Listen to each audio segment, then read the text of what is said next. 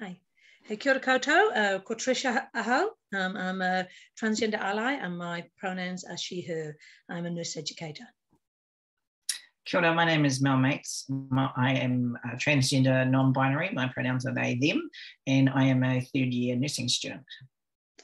We're going to present today on a project that initially sought to enhance nursing students' competencies with regards to transgender healthcare.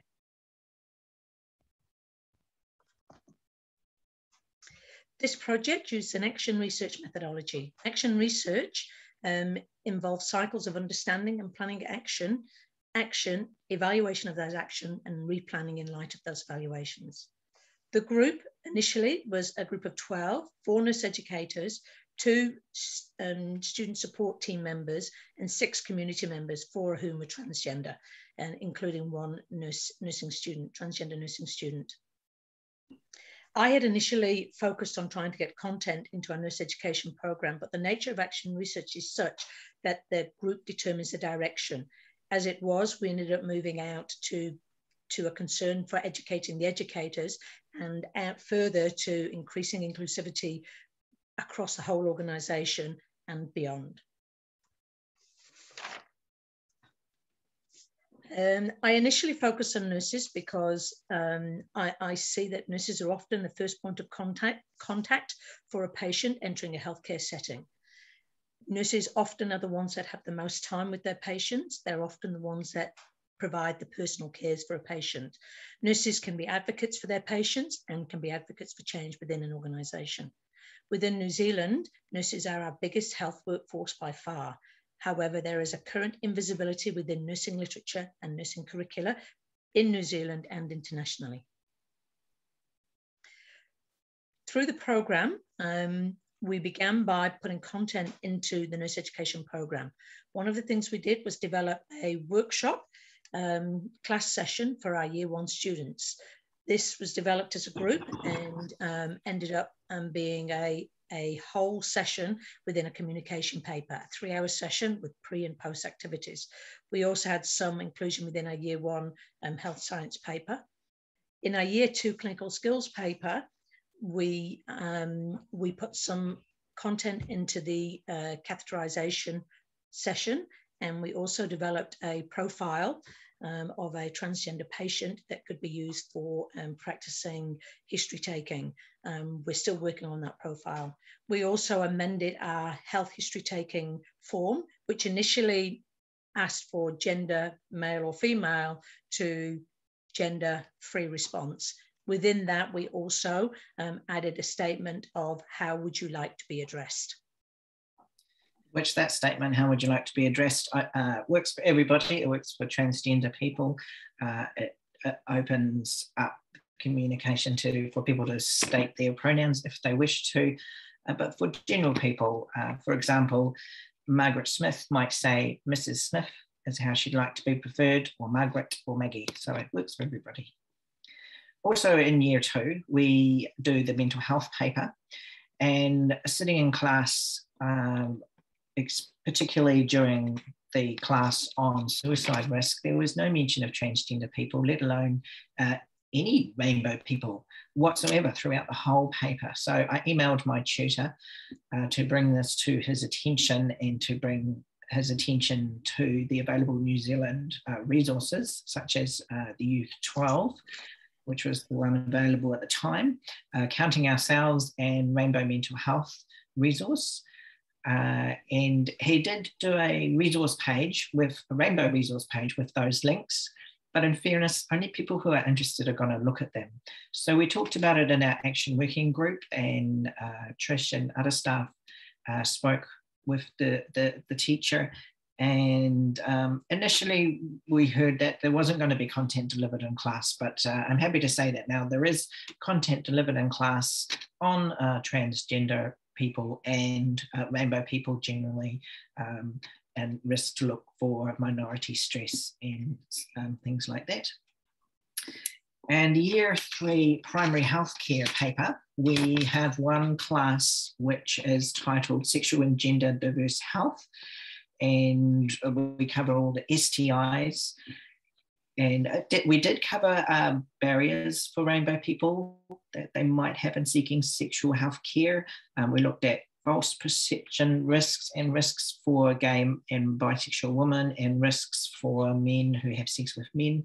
However, we did run out of time for the video on um, gender diversity. Uh, so it is up to individual lecturers and time restraints as to uh, what is covered in class, even if the content is in a paper. Uh, uh, people can choose to gloss over it or um, or run out of time because they don't see that one as, as, as an important or, or maybe it's just a time restraint full stop so there still can be barriers even when uh, content is there now, international students, we have nurses come from other countries, who nurses in their country of origin, and depending on what country they come from, how well their education, nursing education aligns with New Zealand nursing education as to how much study um, they might have to do. So in my year two, we had 20 odd uh, international students start. So they missed that year one workshop on gender diversity. And also these uh, international students could come from countries where it is still illegal or maybe only even recently legal to be homosexual. Some countries it is still punishable by death to be homosexual, let alone talking about any transgender issues. So we identified a need for sort of basic rainbow education for our international students um, that, uh, that may need to have an adjustment into New Zealand culture in regards to our rainbow community. And um, ahead of year two said, yep, that's possible. We've got women at orientation week. And then we sort of expanded to student success and spoke with them, and they were interested in perhaps having that in orientation for all international students, which um, to help them acclimatise to culture in New Zealand. Uh, COVID sort of put a kibosh on that with the, the borders being closed. So that's on the back burner. But it also highlighted the need then that uh, nurse educators need uh, training in some rainbow things as to be trainers. So that moved us on to developing our uh, rainbow diversity workshop. Over to you, Trish.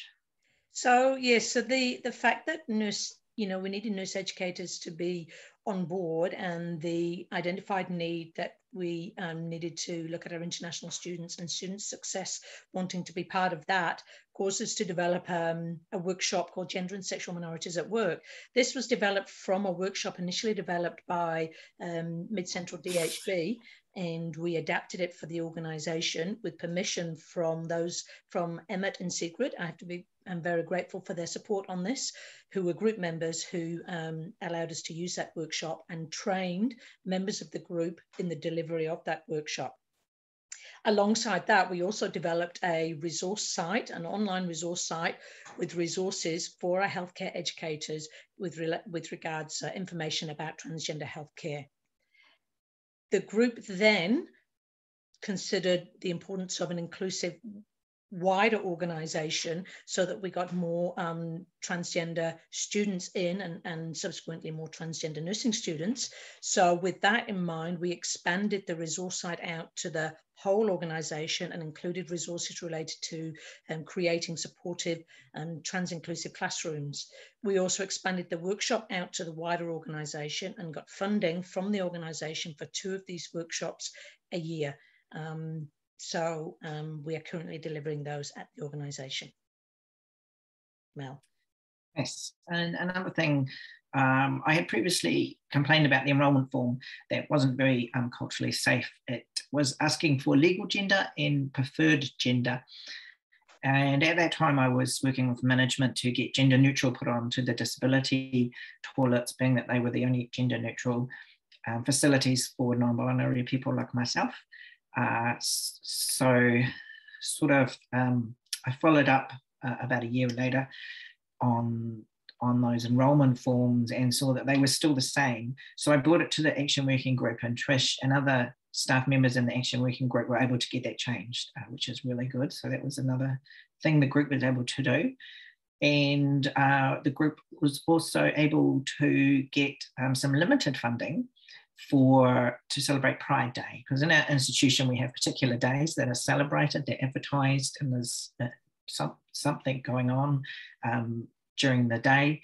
So for next year, for International Pride Day, we will be um, celebrating Pride Day at all of our campuses, which is great. And that brings me on to the Nursing Council competencies.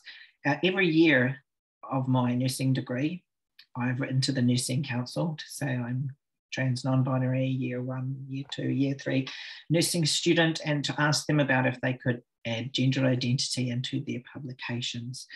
Um, because although all nurses in New Zealand are supposed to be uh, culturally safe for trans people, we know that's not unfortunately always the case. And this year I uh, sort of honed in on competency 1.5, which is practicing nursing in a manner that the health consumer determines as being culturally safe. And it has seven indicators, with one of them being reflects on his or her own practice and values that impact on nursing care in relation to health consumers, age, ethnicity, culture, beliefs, gender, sexual orientation, and or disability. I had a much better response this year as the competencies are being reviewed and they said they would let me know when they're seeking community uh, feedback and that they were going to pass on to their policy team the um, links that I that I gave to Youth 19 Counting Ourselves and the prison report. And um, I've discussed my emails with Trish for the last couple of years, and, and Trish uh, suggested that uh, perhaps I could offer the Nursing Council for herself and myself to do the rainbow diversity training for them um, free of charge. And they are taking us up on that. And uh, we would have done it by now, but sort of COVID has forced us to reschedule for the beginning of November. And we are due to do that in the morning and in the afternoon to get as many nursing council staff as possible. And, you know, it feels like a real privilege and a massive opportunity um, to get in front of the nursing council. And we're both very excited about that. And moving on, heading towards conclusion. So this uh, resource is from the Council of Trade Unions at work, and the Action Working Group moved beyond basic transgender education to full rainbow education, working to move people away from these negative attitudes to the positive ones. And as an individual who's uh, been an active member of the rainbow community since a teenager, as uh, I lived as a gay woman for most of my adult life before coming out trans non-binary um, less than five years ago. And it's those ex experiencing those negative attitudes that qualifies me to be a rainbow diversity trainer. And the lovely unexpected bonus of being part of the action working group is that for the first time in my life as a, a rainbow person, I find myself experiencing the positive attitude of nurturance and experiencing opportunities, such as co-presenting this presentation and some opportunities for advancement, rather than indifference, discrimination bias, and unconscious bias that I have encountered in the past. So in conclusion, the rippling effect grows as it has here, starting with one nurse educator with a research question, developing an action working group to introduce trans education for nursing students, uh, rainbow diversity training being developed with the help from our local mid-central DHB diversity trainers for education, for educating the educators to educate the international students, uh, and then expanding out to general um, uh, staff at our learning institution and uh, an empowered stubborn individual pers persevering with emailing the nursing council uh, leading to trans nursing student and cis ally nurse educator to deliver rainbow diversity training to the Nursing Council, the, who are the very people who can ensure that trans education uh, could be mandatory uh, throughout New Zealand and that all nurses in New Zealand act, practice in an and are account accountable to practice in a safe and competent way for all trans people in New Zealand. Thank you very much. And to conclude from me, I would just like to say that with regards to transgender healthcare, it is important that we consider our, our nurses.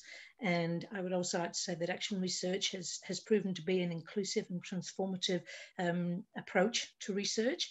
I'd like to thank you all for listening today. And I'd really like to thank members of the Action Research Group that have worked so hard to bring about such change. Thank you very much.